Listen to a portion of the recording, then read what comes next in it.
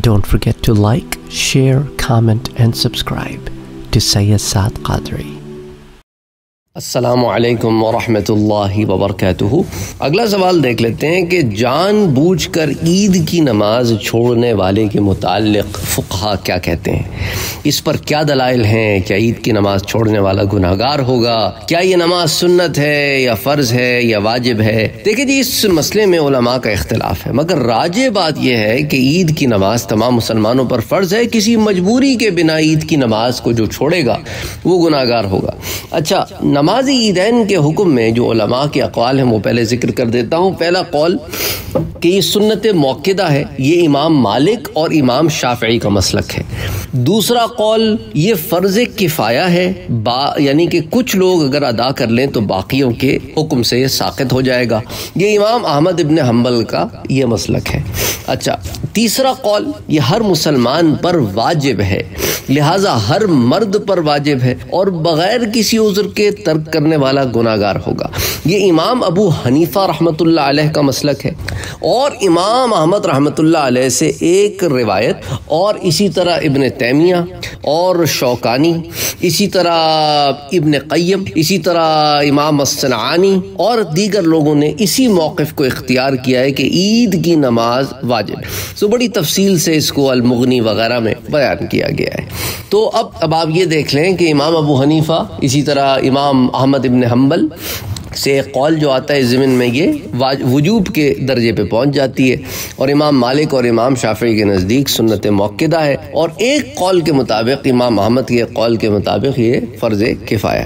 اچھا اب دیکھ لیتے ہیں کہ امام ابو حنیفہ اور دیگر لوگ جن کا امام ابو حنیفہ رحمۃ اللہ علیہ والا موقف ہے، وہ عید کے وجوب پر واجب ہونے پر کیا دلائل پیش کرتے ہیں؟ دیکھیں، پہلی دلیل تو قرآن کریم سے سورت القوثر میں اللہ تعالیٰ فرماتا ہے، اپنے رب کے لیے نماز ادا کرو اور قربانی کرو۔ فصل ربی کا ونحر ٹھیک ہے؟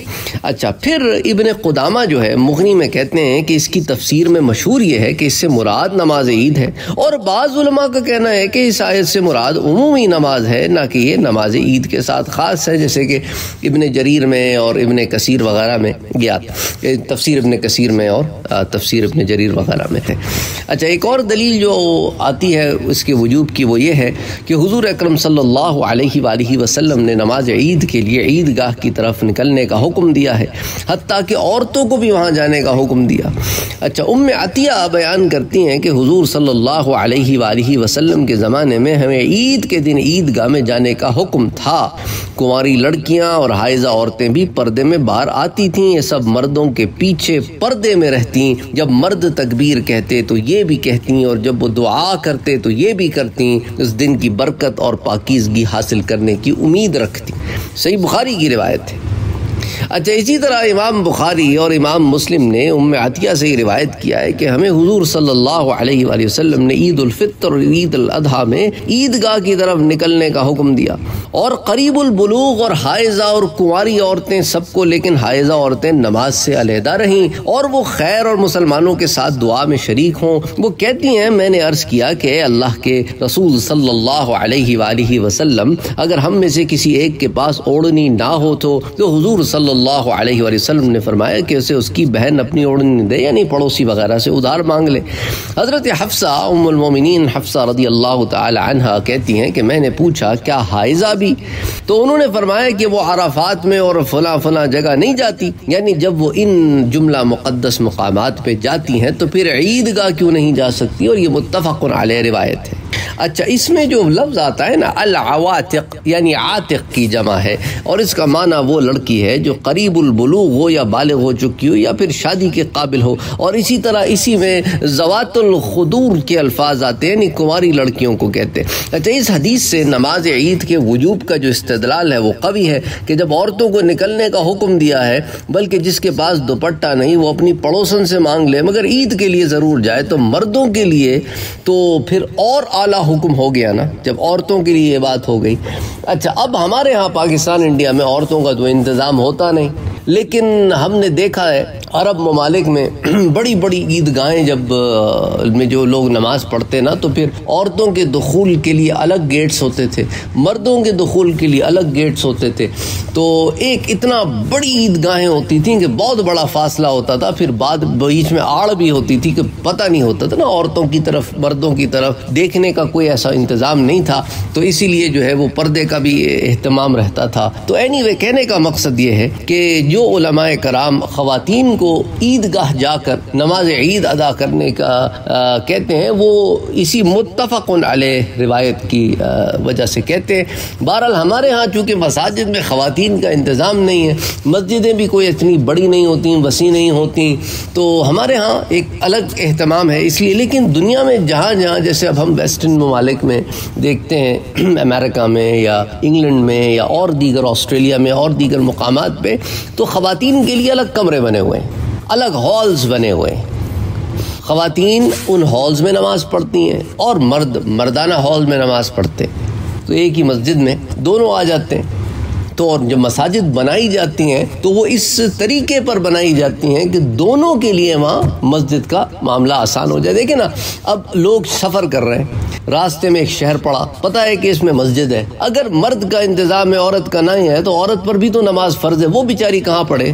بندہ سوچے نا وہ بیچاری کہاں پڑھے تو اس لیے اس کے لیے مساجد میں کم سے کم ہم نے امریکہ، کینیڈا یو کے، آسٹریلیا وغیرہ میں دیکھا ہے کہ یہاں مسجد میں عورتوں کے الگ وضو خانے ہیں، الگ باتھ رومز ہیں، مردوں کے الگ وضو خانے، الگ باتھ رومز ہیں، ساتھ ساتھ بھی نہیں ہیں، دور ہیں۔